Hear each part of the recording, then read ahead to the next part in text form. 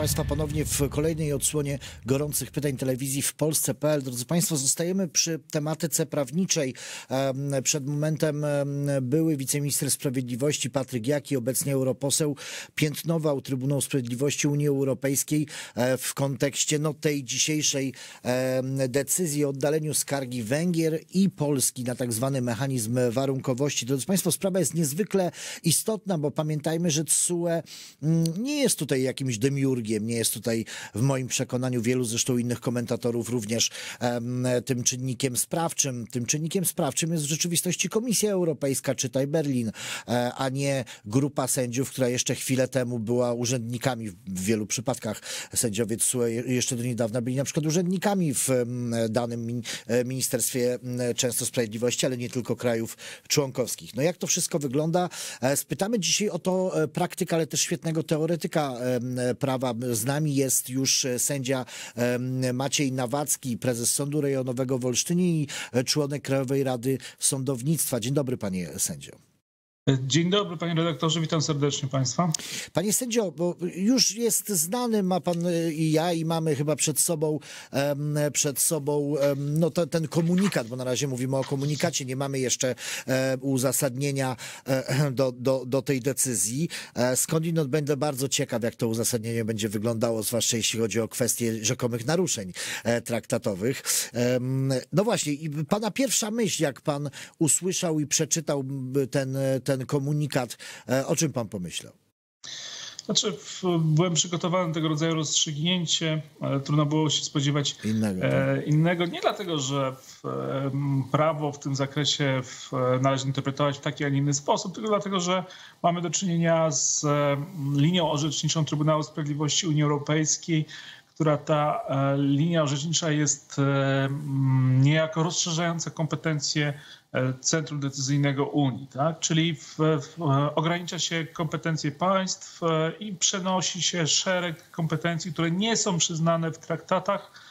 E, no, no, przyznaje się te kompetencje po prostu brukselskiej biurokracji. Tak to wygląda w praktyce. Jeżeli, I trudno sobie wyobrazić jakiekolwiek orzeczenie Trybunału Sprawiedliwości Unii Europejskiej, które by mm, poszło na przekór niejako tej tendencji. Tak? E, dlatego też e, ja wychodzę ze stanowiska następującego, że e, przy takim, a nie innym spodziewanym rozstrzygnięciu trzeba myśleć, w jaki sposób bronić się przed konsekwencjami, mhm. konsekwencjami tej właśnie polityki. I obrona, obrona oczywiście, w, mówię o obronie prawnej, bo obrona z punktu widzenia prowadzenia takiej, a nie innej polityki państwa to nie leży w moich kompetencjach i nie, nie jestem od oceniania. E, ale e, chodzi o obronę prawną. I tutaj możemy e, uciec się do następującej interpretacji, odwołując się między innymi do zapisów traktatowych dotyczących tej tak zwanej prokuratury europejskiej. Mhm. Czyli część państw nie było obowiązku w traktatach, zgodziła się na powierzenie części funkcji oskarżycielskich i tak dalej, odnoszących się do czynów godzących właśnie w kwestie budżetowej, powierzyć to prokuraturze europejskiej, czyli taki twór, który, który ma możliwości oskarżania i tak dalej, występowania przed sądami i tak dalej. Polska oczywiście nie przystąpiła do tego systemu, nie, nie wyraziliśmy zgody na ograniczenie w tym zakresie swojej suwerenności i słusznie. Ale należy stosować interpretację następującą. Tam, gdzie może działać prokuratura, ta europejska, zgodnie z traktatami europejskimi, tam wyłącznie znajduje zastosowanie, e, zastosowanie e, te rozstrzygnięcie, które zapadło mhm. dzisiaj.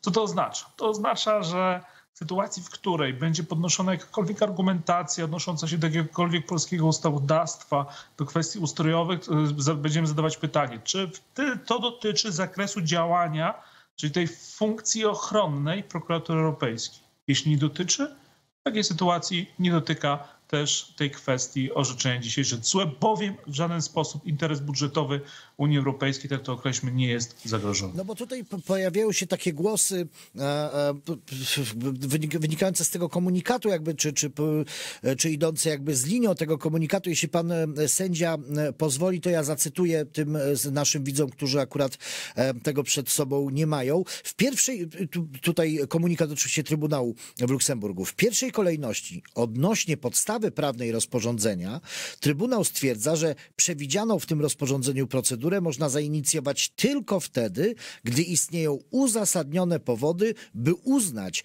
nie tylko, że w danym państwie członkowskim doszło do naruszeń zasad państwa prawnego, ale przede wszystkim, że naruszenia te wpływają lub stwarzają poważne ryzyko wpływu w sposób wystarczająco bezpośredni na należyte zarządzanie finansami w ramach budżetu Unii Europejskiej i tak dalej.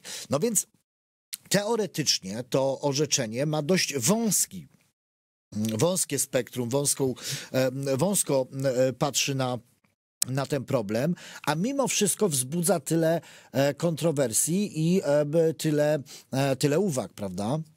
Prawda. To jest efekt oceny praktyki działania mhm. struktur europejskich. Możemy sobie wyobrazić przykładowo, że mamy do czynienia z częścią budżetu przeznaczoną na funkcjonowanie no, określonych jednostek gospodarczych w zakresie ochrony zdrowia. Tak? Mhm. Czyli tam budżet wspiera, wspiera, zresztą niejednokrotnie przez polscy lekarze korzystali ze wsparcia sfinansowania określonego sprzętu i tak dalej. Ten budżet wspiera.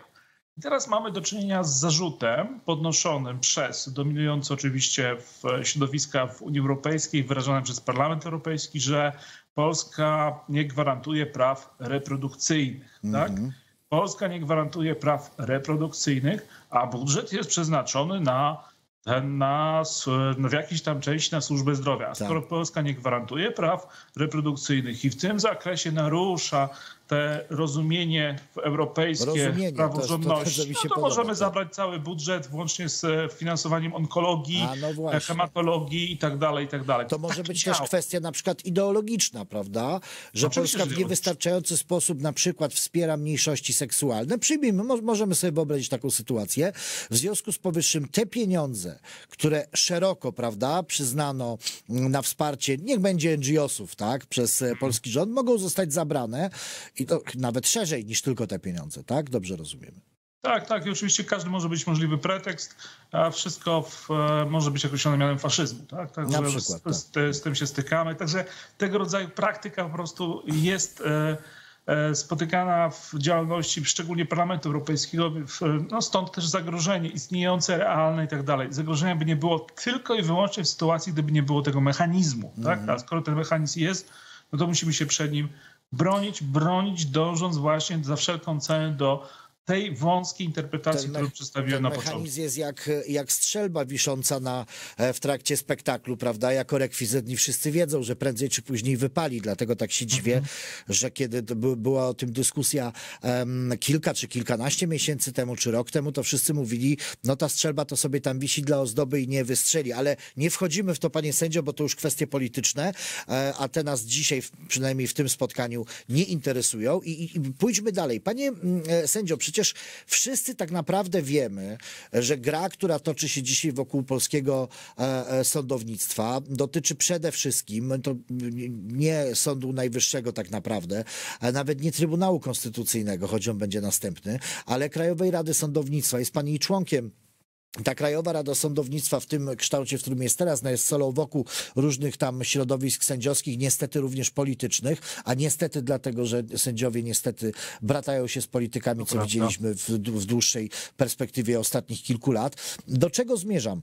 Czy pan się nie obawia, już przechodząc trochę płynnie do sądownictwa z tego tematu, że za moment e, będzie orzeczenie, najpierw pewnie opinia rzecznika, a potem orzeczenie, które będzie uderzało bezpośrednio w Krajową Radę Sądownictwa, już po części części takie postanowienia zapadały, a właściwie ich część ich uzasadnień zahaczały, że tak powiem, proszę wybaczyć nieprawnicze określenie o e, KRS, no ale to chyba pójdzie teraz dalej.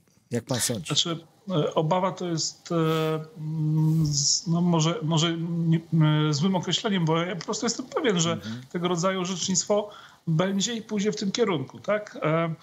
Krajowa Rada Sądownictwa jest w pewnym sensie tylko narzędziem. Tak? Cały czas cały czas e, mm, gra toczy się e, o wymiar sprawiedliwości, kto sprawuje ten wymiar mhm. sprawiedliwości i w, w czyim imieniu i na czyją rzecz. Tak? Mhm. No oczywiście, że w, przysięgamy, przyrzekamy państwu polskiemu, Rzeczypospolitej Polskiej w, w interesie narodu stosujemy sprawiedliwość. To jest tak, takie oczywistości, które dla wszystkich powinny być no, zrozumiałe. I zresztą, w, i zresztą jest to, to oczywistości, które w, są potwierdzane w akcie wyborczym co 4 lata, mhm. w tam wyborach do parlamentu, co 5 lat w wyborach prezydenta i tak dalej. Także to jest normalne. I, to, I w tym normalnym systemie to naród jako suweren z bezpośrednią bądź pośrednią wyłania wszystkie władze, w tym władzę sądowniczą, która by ta władza sądownicza w jego imieniu i na jego rzecz e, działała. I to jest normalne. Teraz, teraz jest kwestia tego rodzaju, kto e, realnie w sposób rzeczywisty sprawuje kontrolę nad, tym, nad tą władzą. Czy środowisko wyalienowane, tutaj nawiązuje do publikacji na przykład na przykład do władzy e, Baszkiewicza, który mówił o alienacji elit europejskich, tak. czy wyalienowane od, tego, od suwerena e, te elity władzy, czy, czy, czy osoby powoływane przez naród e, w interesie interesie narodu. O to, o to się toczy gra. Mhm. Krajowa Rada Sądownictwa jest tylko jednym z elementów tego wielkiego sporu. Tak? I, no i miejmy nadzieję, że mm, w tej w tej rozgrywce zwycięży, zwycięży zasada demokratycznego państwa prawnego z akcentem na demokratyczne, bowiem wszelkiego rodzaju te projekty, które się pojawiają ze strony szczególnie justycji, e, no niestety e, z demokracją są na bakier, bo odbierają suwerenowi prawo do decydowania o tym, kto jest, a kto mhm. nie jest sędzią. To teraz właśnie pytanie, które zadaliśmy trochę na początku, ono wisi, można powiedzieć, na tej belce, którą Państwo widzą, czy kasta sędziowska szykuje zemstę na apolitycznych sędziach.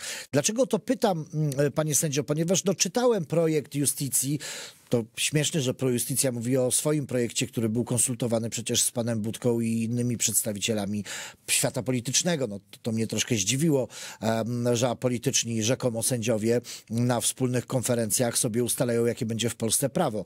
E, włos mi się dęba zjeżył, jak to zobaczyłem i usłyszałem, ale tam są zapisy o tym, żeby de facto wyrzucać z zawodu e, sędziów e, Sądu Najwyższego. To i tak już są łaskawcy, bo wcześniej jeszcze mówili o wyrzucaniu właściwie wszystkich sędziów z zawodu, przepraszam, powołanych przez prezydenta Duda, Dudę z opinią Krajowej Rady Sądownictwa, ale to jest chyba szalenie niebezpieczne dla całego systemu prawnego. Ja już nie będę się znęcał nad tymi sędziami, którzy się naśmiewają e, z mm, absolwentów Krajowej Szkoły sądownictwa i prokuratury, bo to już pozostawię środowisku, żeby się środowisko śmiało z tych sędziów, ale to wszystko e, daje bardzo zły obraz tego, co się może w Polsce stać. Ten projekt, e, o którym należy wspomnieć, to jest e, na pewno rozwiązanie rewolucyjne, tak? E, tylko, że rewolucje tak. akurat są zwykle z no, złymi posunięciami I krwawymi. w rozwoju. Tak? Są krwawe, zjadające własne dzieci, tak. a to ten projekt zasługuje ze wszechmiar na, na nazwę no, rewolucyjnego, bolszewickiego mm -hmm. projektu. Tak? -hmm. O tak to ładnie trzeba określić. E, same założenia są absurdalne. Czytamy o e, Trybunał Konstytucyjny utracił niezależność, nie wykonuje zadań. Krajowa Rada została rozwiązana przed upływem kadencji członków, tak, co już nawet faktycznie jest kłamstwem.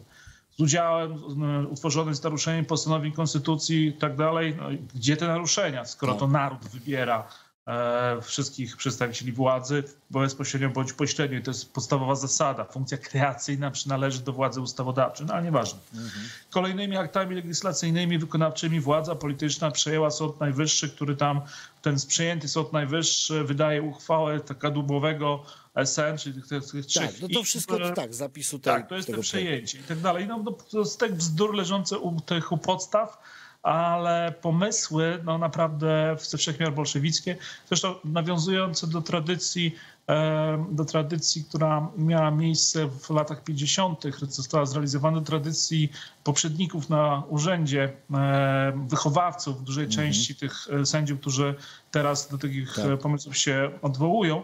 Bowiem trzeba przypomnieć, że w e, sędziów, którzy e, pozostali w, po II wojnie światowej E, na urzędach e, usunięto w latach 50.